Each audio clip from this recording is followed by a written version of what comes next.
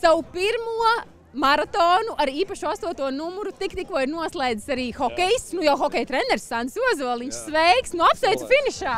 Liels paldies! Liels paldies! Kādas sajūtas pirmās? Pirmās asars, prieks, gandarījums jau 32., 36., 38. kilometrā.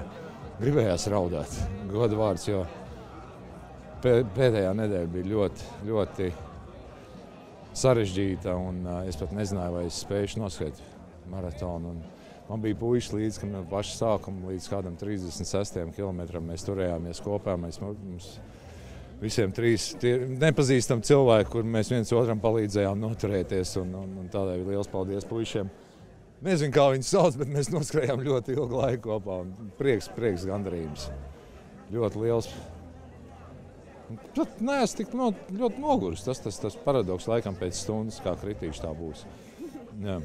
Jā, es saprotu, ka tev veselība mazliet patraucēja visiem tiem plāniem, un, un, un varbūt tempam Jā. mazliet kaut kā īstenībā noskrēja ļoti ātri. Es, es biju pārsteigts, ka es tik ātri spēju noskriet, jo es ļoti konservatīvi sāku. Ļoti konservatīvi. Man uzdevums šodien bija patiešām nekāds laiks, ko es biju savā galvā izdomājis pirms trīs mēnešiem, kādā es gribētu noskriet. Tādēļ es esmu pārsteigts pats. Un liels paldies Arnim Novečukam, jo viņš man pagājušās nedēļas laikā doktorēji mēģināja sataisīt kaut ko un palīdzēja vispār sagatavoties cerībā, ka es noskriešu. Tādēļ Arnim liels paldies! Un, uh, un visiem pārējiem. Manai sievai par lielu stāstu rekur viņa arī stāv raud, un es pats raudu. Un tad, tad, tad, tad viss beigas forši. nu, es nezinu, nu, kāpēc, bet nu, asaras nāk, un tu nevari saprast, kāpēc. Un, nu, kā noskrējas tikai jau to maratonu. Labi, laid viņus ārā. Nē, nu, tagad jau. uh, kāpēc tu vispār pieteicies? Kāda bija tava motivācija? Nezinu, kaut kad pirms trīs gadiem, kad sāku kaut ko skriet, vajadzēja motivāciju, lai no rīta, kad ir grūti nevis tāpat vien, bet vajadzēja kaut kādam mērķim būt. Un tā es sev izdomāju.